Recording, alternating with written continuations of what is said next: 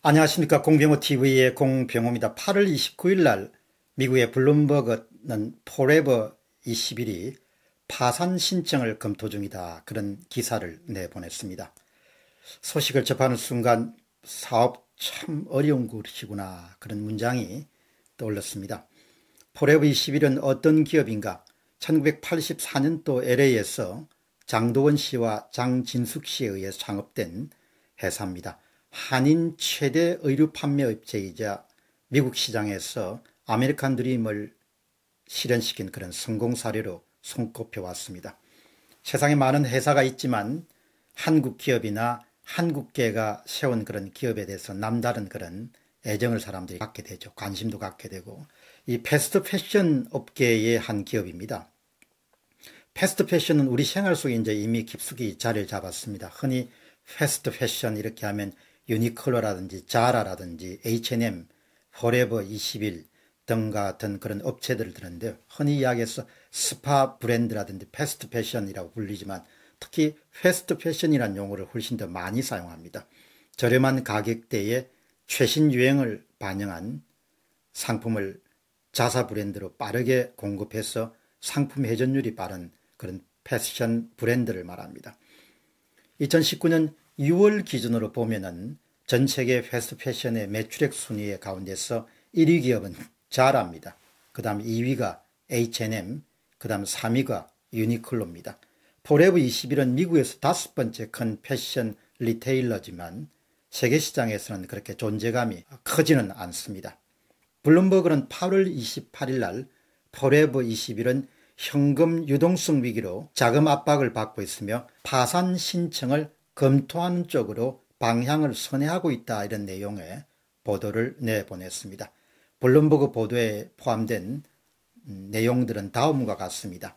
1984년 LA에서 설립된 Forever 21은 전 세계 815곳의 매장을 갖고 있으며 최근 들어서 매출 부진에 따른 자금 압박으로 구조조정을 추진 중에 있다.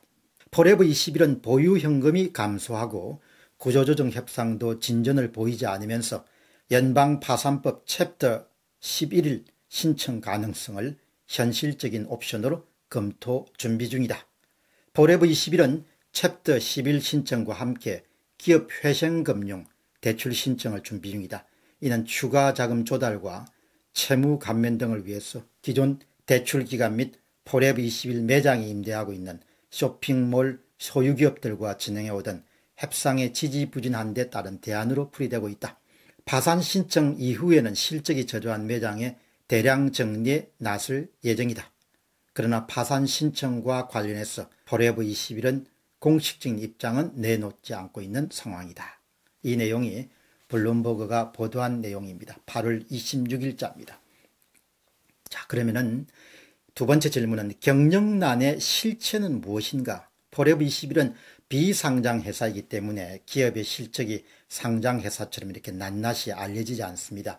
2018년 10월 달에 발간된 포브스에 따르면 2017년도 회계연도 매출 기준으로 보면 Forever 21은 34억 달러, 우리 돈으로 4조 150억 정도의 매출을 기록했고 전년 대비 마이너스 15%를 기록했다.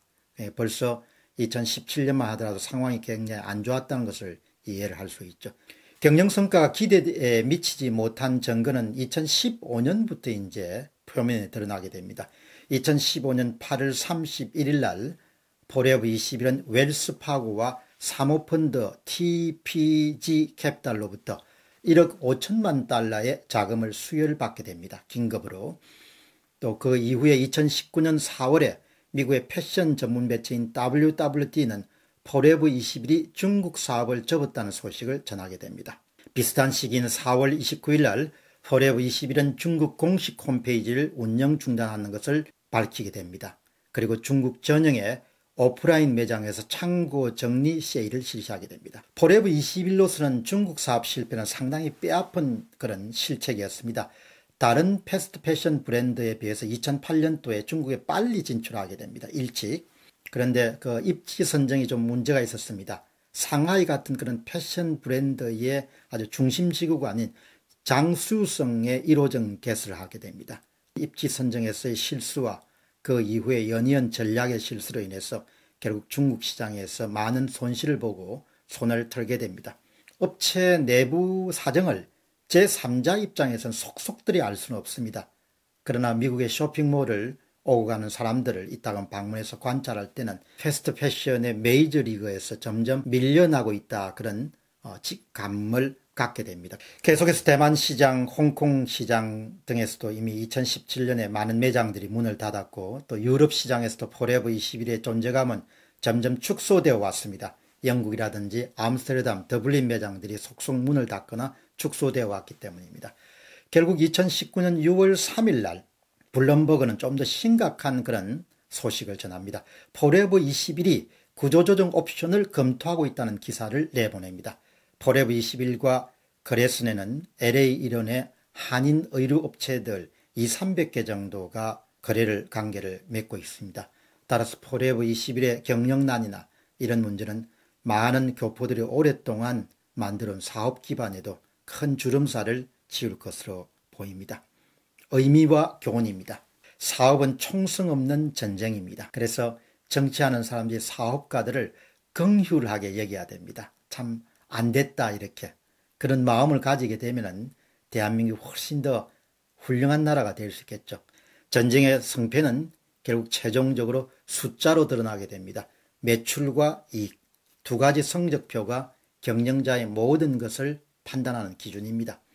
회사가 성장해 가면서 내부적인 경영 혁신을 제대로 수행해가지고 좋은 상품을 저렴한 가격으로 고객들이 만족시킬 수 있어야 되는 것은 물론입니다.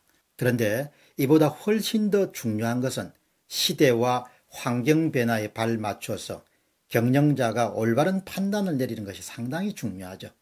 중국이라든지 유럽이라든지 인도 시장에서 Forever 21이 고전을 면치 못했던 것은 경영진의 의사선택 과정, 전략과 전술의 선택 면에서 문제가 좀 많았지 않았냐 그런 판단을 하게 됩니다. 물론 이것은 사후적인 판단입니다. 그리고 2010년대 전반적으로 온라인 시장이 급격하게 성장하면서 의류업종, apparel 업종은 그런 환경 변화에서 상당히 불리한 위치에 처하게 됩니다. 이런 와중에서 대형 쇼핑몰들의 내방객 수나 방문객 수나 매출이 급감하고 많은 소매 업체들이 온라인으로 이동하는 상황에서 어려움을 겪겠습니다. 이런 와중에서 아, Forever 21은 대형 쇼핑몰 위주의 사업 전략을 선택했는데 아마 이런 부분들이 실책이지 않았냐 그런 생각을 하게 됩니다. 지금도 이미 미국에서는 오프라인 매장은 급물살을 탈 정도로 그렇게 어려움을 겪고 있습니다. 많은 거래들이 온라인 시장으로 이동하고 있기 때문입니다. 매출과 이익이 줄어들면 사업이 기울기 시작하면 이를 원상 회복하는 일은 장엄만큼 어렵습니다. 그렇기 때문에 경영자들은 사업이 웬만큼 잘 나갈 때 그 사업의 운전 방향을 잘 이렇게 조정해야 되죠. 결국은 사업은 무대의 중심지에 누가 남을 수 있는가라는 것입니다. 잊혀지지 않도록 현명한 노력이 계속돼야 하는데 이런 점에서 Forever 21의 고전은 좀 안타깝고 딱하기도 하고 좀 생각할 거리를 많이 던지는 그런 사례 가운데 하나입니다. 어떻든 현재 어려움을 잘 이렇게 극복하고 또 새로운 그런 좋은 성적표와 소식을 전해 듣기를 바랍니다. 공병호 TV의 공병호였습니다. 감사합니다.